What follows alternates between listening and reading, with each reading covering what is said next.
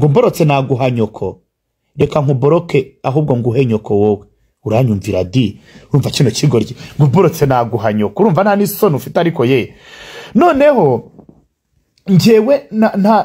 nta- nta bibazo byinshi. Kuko ofete icya mbere uje kuvuga. Yego ndayifite kuko mfite n'icyo mbahemba. Ndayifite e we ego timu we. Ndayifite isi. Ndayifite.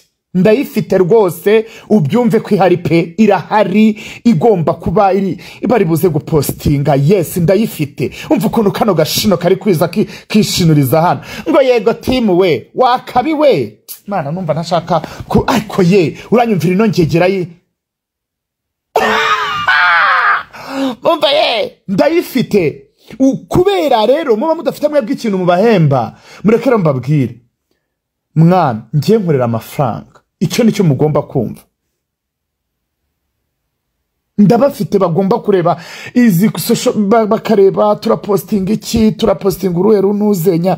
Bara e timu irahari sheri Ii, niko nyine. Uranyumvira ukuntu kaba kaza kishinuza hano kaza kazamura kaha bincumuza si biki? Bincumuza iki ntabwo bashobora kuncumuza abantu rero bo kuri twitter mbona abantu bo kuri twitter bamwe tuziranye buriya abantu muziranye buriya nk'abantu tutaziranye. Njye ntabwo mushobora kwandika nk'ubugoryi keretse nk'abantu baba ba- bareba. Eh ari nkurahako nkurahako gatijo ari ndakuboroka wowe wagakecuru we. Niwongera kwandika ubusa hano. Eh urugarutse mu kibuga se? Ongera wandike iryo jambo wanditse nkwereke ikintu ndi buze kugukorera mukecuru ese ubundi mbabazi? Iyo uta uda iyi namba iyo buretse iyo u- uda uda uta uda ntabwo mba mbasunikira kugira ngo muze kunkurikira. Mwese ba muri muri gahunda zanyu nta muntu n'umwe mba nasabye ngo ngwino nkurikire ako gakecuru ndaje ndakereka ikintu ndi buze kuza guhagakorera. Kuri twitter rero ngiye kubona mbona abantu bo kuri twitter ngo noneho ngo urabona nkajya kumva nkajya kubona nkabona umuntu ufite umva utanazwi ufite umva utira n'amayinite. You guys mureke mbabwire ikintu kimwe. Hari ibintu muba mutagomba kwita. Utira n'amayinite. Ngo aje ngo ja ngo nkubaze. Umbaze iki se wakuzimu? Umba koko nk'umuntu yaba mbaza iki? Ngiye kumva numva umuntu ari kumbaza. Ngo niye ntigiye urambaza? Nireka gusubize hano. Noneho umuntu arangije akora iki? Araza avuga ubusa ngo jihadi ngo ahora avuga none se wibwira yuko umunwa n'ururimi rwagobye bwo kuba nabavuga? Ntabwo bishoboka. Ntabwo bishoboka rwose. Uri kumva? Noneho umuntu araza izo sipesi nari niviriye muri club noneho njyewe nta n'ikintu biba bimbwiye. Umva umva isi agomba kuba azwi kubera yuko ntabwo ni we bo waje kunkurikira. Agomba kuba azwi kubera yuko nanjye iyo nzi. Kujya kumukurikira kuko namwe munkurikira kubera yuko munzi. Yes. U- utaje kunkurikira se. Ese ubundi isi nkubaze. Nkubaze isimbi w'amatwi Uh, noneho ngiye kumva numva you guys umuntu kuri twitter ari kuvuga ubusa. Ndangije numva ariko nkunda inshuti zanjye kubi. Nkazikunda kandi z'indushyi. Rero mureke mbabaze. Kuruha si ukundi. Uraho wowe uri gutira amayinite. Uraho ngaho uracyabwerabwera muri iyi mihanda. Ku, ku, ku, u- u- ntuzi rirashe n'irirenga urirebera mu myenge y'inzu. Warangiza ngo jihadi. Natungo no- noneho ngiye kumva numva mm, mbabwire nta n'ikintu na kimwe mba nitayeho. Wibwira yuko ko jyewe ndi sina ndugu we picu pipicu wibwira yuko ndi sina ndugu ahubwo se mwumva izo nshuti. Ngo none se ngo ubwo ngo iriya videwo ngo aha wumve? Ubwo ngo uwo muntu ngo ni inshuti nkamureba navuga se. Ngo jyewe ngo urabona ngo igitanda igitanda ukagira ngo yakiryamyeho igitanda cyajya Eh, niko mbaba. Ariko banyoherereje barambwira abantu bakambwira ngo none se ngo uyu sinigeze kubona muri kumwe ngo aba sinigeze kubona muri kumwe. Noneho ngiye kumva numva mwigeze mwumva nyuma umuntu witwa um, no brena yongera gukora space. Reka da ntawe n'umuntu utarakoraga sipesi n'abantu batajyaga muri sipesi noneho nkabareba ngo wowe ngume. Hakagira umuntu uza kunshingaho. Kandi noneho njyewe nta nubwo mba nkeneye ngo umuntu ngo aze ngo jihadi ngura mani umuntu muraziranye. Umuntu ngiye kumva numva afashe mayike ngo rero ndavuga ibi bigoryi barabinyoherereza. Ntabwo yakongera you guys. Ntabwo bashobora gusubira ntabwo bashobora gusubira kubera baba bari aho. Ntabwo ntabwo baba bazi rirashe n'irirenga. None nkubaze umuntu agiye kuri kuri kuri twita njyewe sinkunda ibintu bya twita kubera yuko urukuta rwanjye ni ni ni akenshi nkoresha urwa urwa instagram. Twita rero mpajyaho gake cyane pe. No gupostinga sinjya nkunda gupostingaho. No njyewe ntabwo mfite ikibazo cy'ukuntu utaza kuntuka pe. Ariko nkubaze. Wowe uraje uravuga jihadi ntumuzi. Sha mwana. Ntabwo nzi. Noneho biratangaje kubona uzi ikintu kinzanye hano kugira ngo ngire nanakore live. Ni ukuntu abantu bagera muri batanu bamaze kunyandikira. None se wowe ufite nk'iyo uvuga ngo umuntu ntafite ubwenge.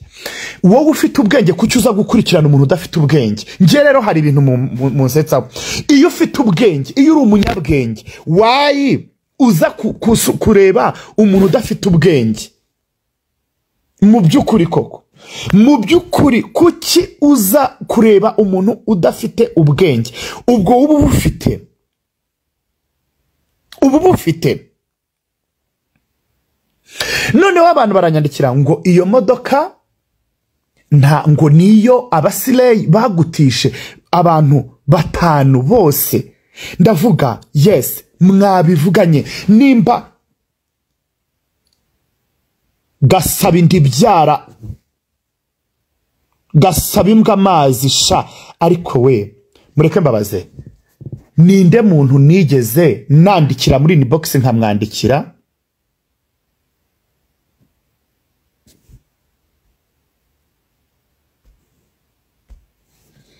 Nkamwandikira oya uyu uyu witwa isimbi namaze kumuboroka shu. Mwihorere namuborotse kuko njyewe iyo ukomeza kuvuga ubusa erega ko ibyo erega giye mba mba ndeba umuntu uri uri n'ishyari mba ndeba none mba ndeba mpita muboroka. Kugewe gukanda gukanda ku izina ry'umuntu nkahita nkanda kuri bloke ni ikibazo ntabwo ari ikibazo habe namba nta kibazo kirimo. Kuko nk'uwo azongera kugaruka kundeba rwose. Azajya nyumva azajya aza muri youtube kuko muri youtube ni ho niko nkubaze. Mwabashenzi mwe mwangegera mwe. Sha. Nihagire umuntu wandika hano ambwire ngo jihadi cyano. A- afata screenshot. Y'iyo mesaje ngo ndi kumusaba. Mani mujye mwitonda. Njyewe nsaba iki? Nsaba iki? Ahubwo se nsaba iki ntazi kwiha? Mana ma, mani mbabaze umuntu wandika hano ngo urasabiriza. Ijambo gusabiriza muraryumva ariko? Alors ni ukuba wicaye ku muhanda utegereje umuhisi n'umugenzi kugira ngo utanazi icyo afite. Ngo umusabe eee we uzi ko musuzugura? Nsaba iki?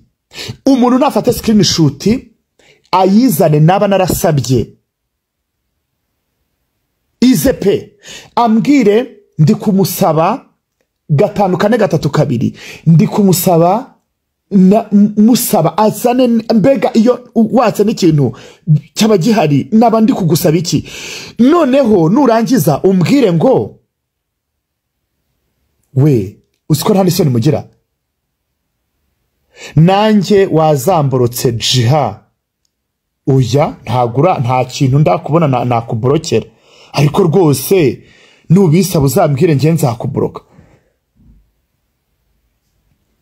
njye sinjya nsaba bro. Njyewe m- mfite akazi ndakora nkorera amafaranga yanjye mwana. Ariko ubundi mbaze. Niyo naba nagusabye. Ikibazo ni njye wasabye cyangwa ikibazo ni wowe nasabye wagiye kuvuga ngo jihadi yansabye. Ndibaza yuko gusaba ntabwo ari icyaha. To be honest kabone niyo nasaba.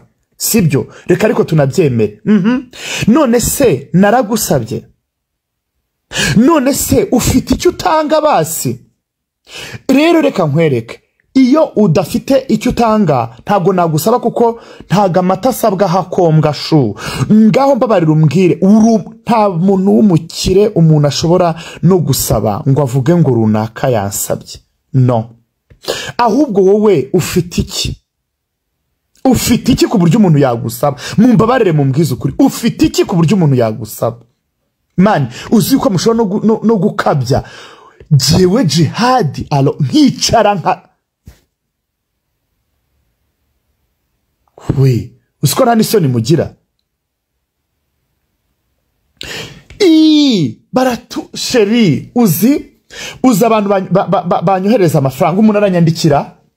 Nta amazina yawe ntabwo ngira western Union, ntabwo ngira world limit ndashaka kuguha amafaranga. Ngewe man abakire baranyandikira hano bati jihad umeze neza. Ngurya akagurube wowe karya amabyi karya amabyi mabere ya nyoko. Ingurube se? Inka zarashize hano mu rwanda cyangwa ihene cyangwa inkoko? Kandi niyo ngurube niyo naba nyirya. Ntabwo naba nishyura amafaranga yanjye. Ubwo koko tujye kubipfa.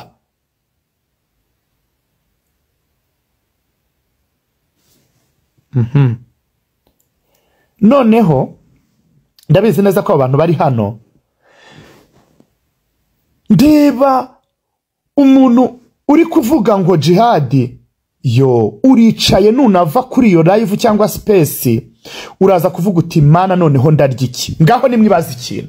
Ndarya iki? Ndanywa iki? Uri gutuka uri kuvuga ngo jihadi ngo ibiki byibura vuga umuntu uvuga uti nk'ubu ngubu nimara no kubatuka hano ndahita njya muri shutazi njye kurya sho.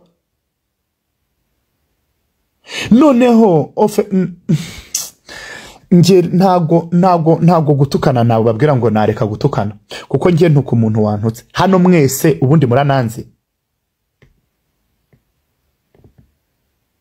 Mhm.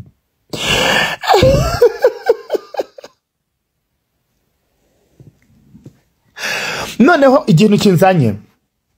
Ngo iriya modoka ngo ni abasireyi bayintije shu ndashaka kubatangariza ko ngiye no kugura indi modoka. Yes. Iriya ni iyanjye ngiye no kugura indi. Cyangwa se uzazane abo basireyi bantije iyo modoka. Mwana uzi yuko musetsa? Uzazane abo basireyi bantije iyo modoka nurangiza ubanyereke. Turumvikana?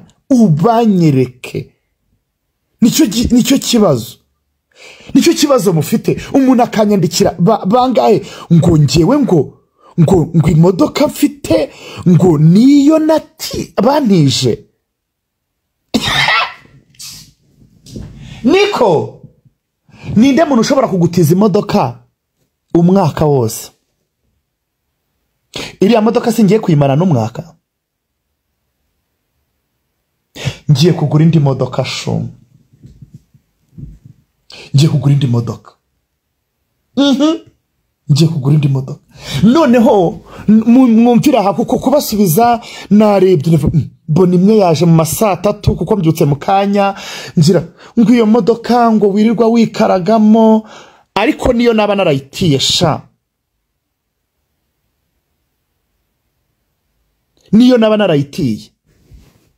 Kabone niyo naba narayitiye. Ugira amahirwe ntabona n'uwatira iyo modoka? Usubiza ugira amahirwe.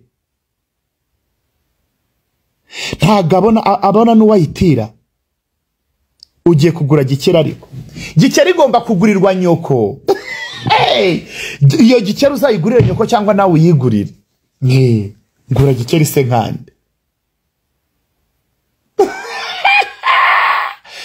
Rero kubasubiza byananiye. kandi n'ugira amahirwe abona umuha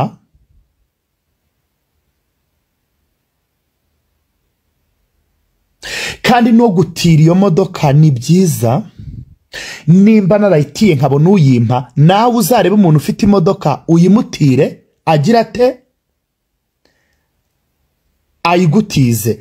Hanyuma rero abantu bo kuri sipesi mwebweho nzaza kubisubiriza kuko ndabakeneye kandi ugira amahirwe abona n'uwo mutiza iyo modoka ariko rero nk'abantu muzi neza ngo ngo ngo wowe ugiye kuri sipesi ugiye kuvuga jihadi. Uta- utanakuzi uta- utanakwitayeho oya sha oya rwose. Rero ubwo uza njyewe nk'uwo muntu rero wari uri kuvuga abantu baraje barambwira ngo ariko uyu nguyu si inshuti yawe. Iyi yari inshuti yanjye pe. Yari inshuti yanjye ariko n'ubu iyo murebye mba numva narabuze ikintu murebamo. Umuntu ari aho ngaho ntazi rirashe n'irirenga. Nzakwihorera kuko ndamutse mubwiye ijambo rimwe. Ariko uzahorana urubuyero. Ngiye nkubwize ukuri nta muntu wiha ku- kujya kunzanaho ibintu bya- by'akatijo. Amahoro se wayakurahe? Amafaranga nzakwihera rata ni fifi mbabarira wallahi we bagutiza ma kabero keza. Umuntu arumva uzahora ngo ubwo rero ngo ugiye ngo kuvuga jihadi ngo uri- guhamura iki se? Sha byibura noneho ikitangaje. Usanga nk'uwo muntu nta mayinite agira ari kuri wifi ari kuki iki iki iki iki iki. Ntabwo namukubwira. Nzamukubwira toni nzamukubwira kandi uzasanga unamuzi. Uranamuzi rwose. Nzamukubwira. Ndanakwikumburiye dayeri ahubwo se ndasohoka. Tujye tu- tujye shutazi. Kuko ngiye gusohoka. Noneho mu- mufite ukuntu muba mushaka kubyiga umuntu? Wowe mwana nta mayinite nta ntaki nta ma- mani ngo jihadi ngo ni umukene ngo jihadi ngo ara ye. Ntaribi ubukene bubaho. None se nkubaze? Nku- uyu se ari kuzana ibiki? Nkubaze. Mu by'ukuri koko shahu.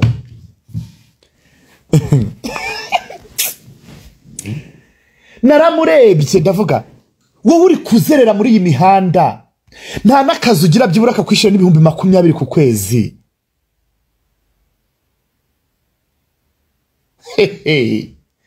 Ngo ye ngo ubwo mumureba mwana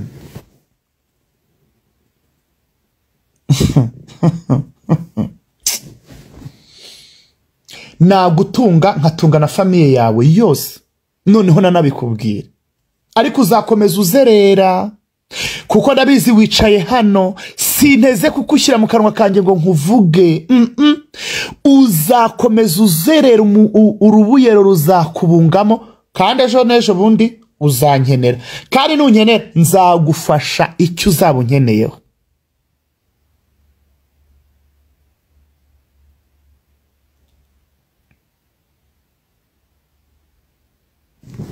Uri kumva? Nzagufasha icyo uzaba unkeneyeho. Nkwereke ko oh, ngo wowe je we. Umva rero mbabwire nkiri hano ahubwo n'iriya videwo ntabwo mwayirebye. Iyo muba mwarayirebye ntabwo muba mwarambwiye ubusa musubireyo murebe neza videwo niko mbabaze ngewe naba nkora naba nkora mu- kazi mu tuzi mfite. Nshinzwe gukora ubukangurambaga bwo kwisiramuza njye nkaba nicaye ntarisiramuza mwangegera mwe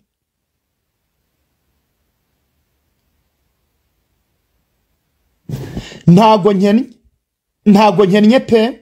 Ntago nkennye ku buryo wakumva yuko nta- ntashobora kwifasha ikintu runaka n'abanyeneye mu by'ukuri n- uzi ko mutanatekereza. Ngiye nkora ubukangurambaga. Nkaba ntarisiramuza ariko niko mwagiye se mukareba videwo ngo mbereke. ni abasaba imbabazi mureke bazisabe. Bazi ibyo bakoze.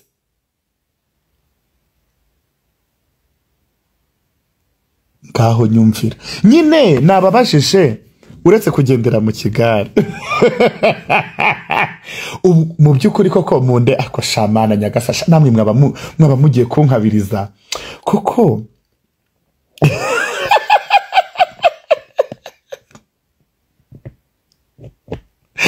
mureke babwire. Muretse kugendera mu kigare. Mu by'ukuri kwibara guca mu ziko ni guke mu byo yesu we, ariko bara ahubwo nta n'isoni muba mufite. Mugende mwongere musubiremo videwo shu cyangwa mumbwire mu kanya hari umuntu tumaze gukora na onora we nayishyira hanze ndamwica. Ndamwica. Kubera erega kubera ikibazo. kubera ikibazo cy'intuzenya cy'u- cy'ubushita. Ubu ndi gukorera onarayi nabonye nta n'umuntu nshobora kuzazana hano.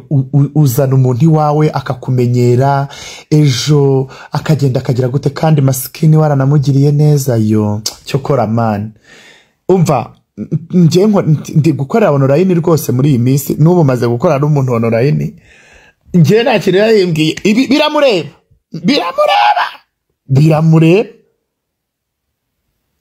njyewe nta muntu nzasaba imbabazi kuko nta kintu namukoreye njyewe. Ofete nta, kintu nigeze nkorera umuntu ku buryo namusaba imbabazi. Iyo nakoreye umuntu ikosa musaba imbabazi ariko se. Abo muri kumva bamubona nta muntu muri iyi mihanda na, nasaba imbabazi kuko nta kosa mba namukoreye. Kubera murebe murye mureba ibiganiro byanjye jyewe nkora komenti ku kintu runaka. Ntabwo nshobora kwibasira umuntu. Uri kumva. So rero umuntu ahubwo usaba imbabazi aba azi ibyo yakoze. Ahubwo uponyonyo umva njyewe nkorera onorayini n'ubu mu kanya amaze gukorera onurayini nespa aha. Ikindi eh, sinzi umuntu wigeze kumbaza. Mwana ndasiramuye. Eh, basi ibyo ucyumve. None nibasiye ndetse man. Nibasiye wowe ngo ga ngo gasabe imbwa amazi. Uvuze ngo iki? Aha uti?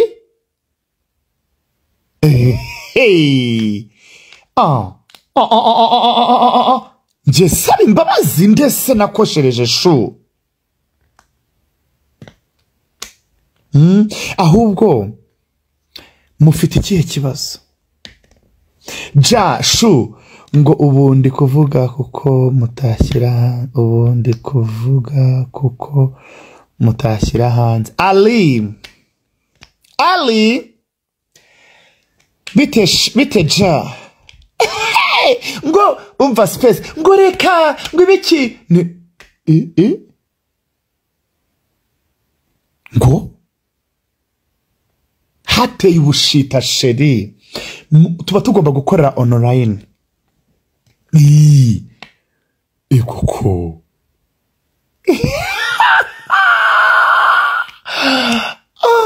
Onorayini love. Umuntu ara umuntu umuntu ya- yanyandikiye kare ati jiha uyu muntu noneho amajwi yanyu baba yazi nkabona ubuganiro muba mwagiye mukora eh, bamwe ariko muzi umuntu ushobora gushwana n'abantu barenze umwe? Umuntu ushobora gushwana n'abantu. Muzumve. Umuntu wowe ushobora kuba ubaho muri buno buzima. Ugashwana n'abantu barenze icumi. None se uba usanga atari ikibazo? Mwe mwe muza oya mwebwe murabizi. Ubu ubu mumbabaze mwebwe munkurikiye. Ushobora kwicara ugashwana n'abantu barenze umwe. Noneho muri mu- mu- noneho muna ah, mana yanjye. Njyewe ntabwo nshobora gushwana n'umuntu tutaziranye. Umuntu tutaziranye ntabwo dushobora gushwana kuko umuntu umuntu utazi iwanjye. Ariko nk- nk'umuntu nzi uzi n'iwanjye. Unzi byibura twaganiriye n'amasaha icumi. Anarenga. Bro uzireka nkwereke. Njyewe nubaha inshuti zanjye. Ubu hari abantu mwakomeje kunyandikira hano muri kumbwira ibintu ngo bya videwo yande. Ngewe iyo umuntu ari inshuti yanjye ndamwihorera. Kabone niba uri mu makosa nshobora kugira inama ariko sinshobora kujya kukota ariko iyo ntakuzi nyine nkota nk'utakuzi ariko nkubaze umuntu ni inshuti yawe? Ngo ibaze ariko mbabaze nk'iyo mubona videwo ndimo mu gikorwa mu buriri noneho n'umuntu turi kumwe tutari gukoresha iyakure noneho ubu biba bimeze gute? Tubwizanye ukuri. Hariya nari nibereye onorayini ni onorayini yesi ngewe muze munyanduze ubushita. Noneho hari uwo numvise ngo kiriya gitanda ngo akiguze vuba kagurwe buje gakubwe n'umuruho wanjye gerawe ariko nzakwitekereza i kigali. Iyi kigali?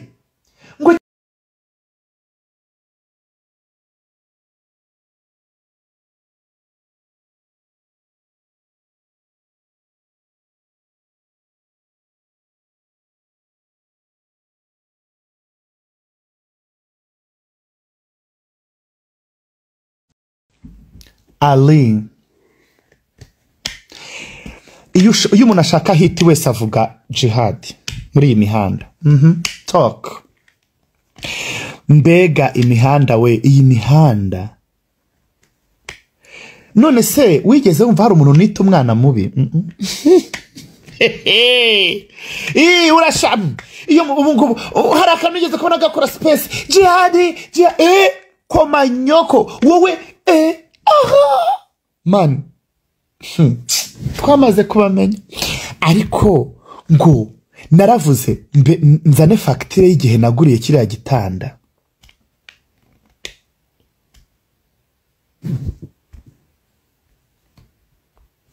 Ariko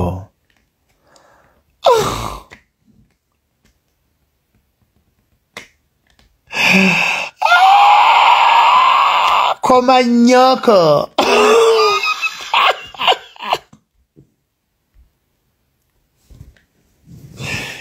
Itangazo. Ngiye kujya muri shutazi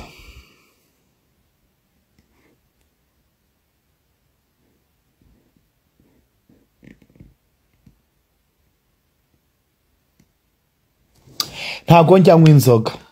Mm. Kandi ndamutse nanasinze.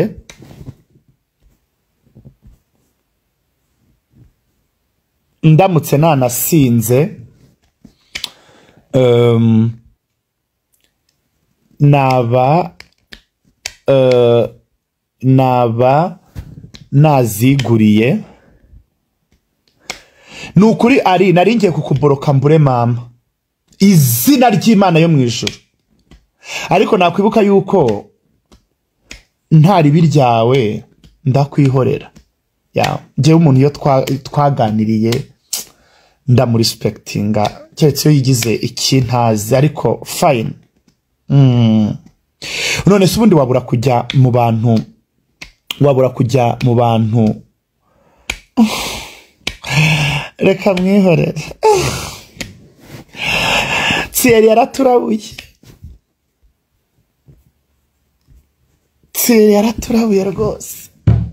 Umva reka nigire shutazi. Oh. Mhm.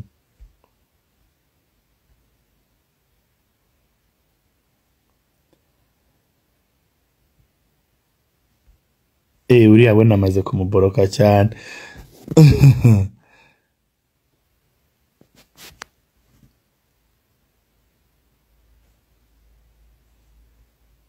niyo nazinywa ariko ndibaza